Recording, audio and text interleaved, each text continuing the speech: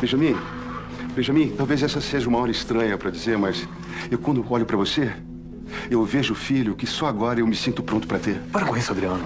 Isso não é uma despedida, não tem que ser assim. Ainda mais depois de tudo que você fez pela gente. As coisas são como são no momento que Deus escolhe. E ele me viu antes mesmo que eu pudesse enxergar, Benjamin.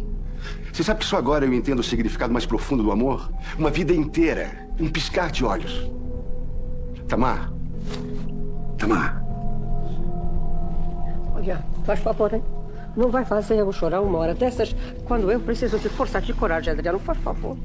Então eu te faço rir.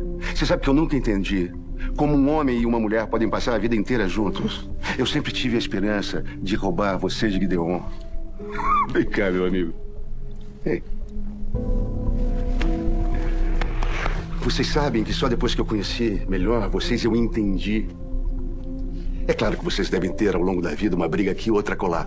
Mas uma coisa é certa: quem nasceu um pro outro, ninguém, absolutamente ninguém separa. Hein? Bom, já vi que eu não vou conseguir te convencer a ir embora com a gente. Mas eu vou com vocês. Aliás, eu vou estar sempre do lado de vocês. Só que eu vou estar fazendo a minha parte aqui, aqui dentro, no ninho da serpente. Mas assim você corre riscos tremendos, rapaz. Eu corro. Eu corro sim, mas é a primeira vez eu posso agir numa causa que eu acredito. E a propósito, Benjamin, eu sou muito, mas muito grato a você por ter aberto os meus olhos e a minha cabeça do Senhor Jesus. Antes mesmo que eu me perdesse, olha, eu vou dizer uma coisa, eu sempre gostei muito de me perder. Ah, Adriano, eu só não quero que você morra, entendeu? Eu só não quero que você morra, é isso que vai acontecer se você ficar. Mas, meu amigo, todo mundo morre eventualmente. Mas enquanto isso não acontece, eu pretendo usar o que me resta de vida para ajudar a nossa causa daqui de dentro.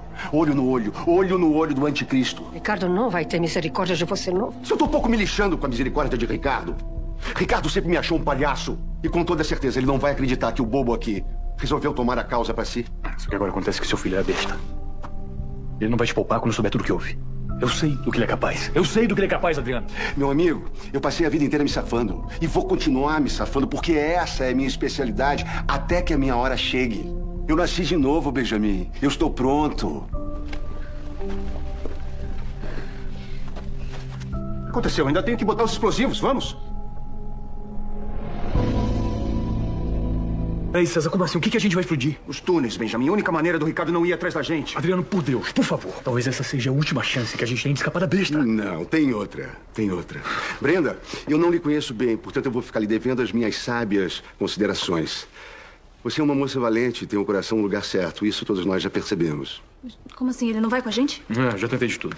Linda, agora você controla essa robozinho charmosa. Eu quero que você mande ela bancar a minha história que eu vou inventar pro Ricardo. Que eu tentei impedir a fuga, mas fui impedido. E que vocês levaram Tamar e Gideon como reféns. É muito importante que vocês digam como reféns. Tudo bem, eu posso fazer isso, mas. Só depois que eu apagar. Apagar como, Adriano?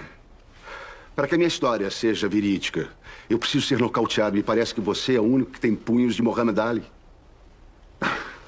Desculpa, eu não vou bater em você. Esquece, César. É inútil tentar convencer esse cabeça dura. Me acerte aqui no meu lado ruim. Eu ainda vou precisar usar meu charme para conquistar pequenas vitórias. É isso. Tá bom, tá bom, Adriano. Eu posso fazer isso por você. Brenda, você pode reprogramar a Melina para ela ajudar o Adriano? Pode deixar. Melina, por favor, tenta cobrir todas as lacunas que nós deixamos com explicações lógicas, hein? Vem Ora, meus amigos, por favor, não façam essas caras, hein?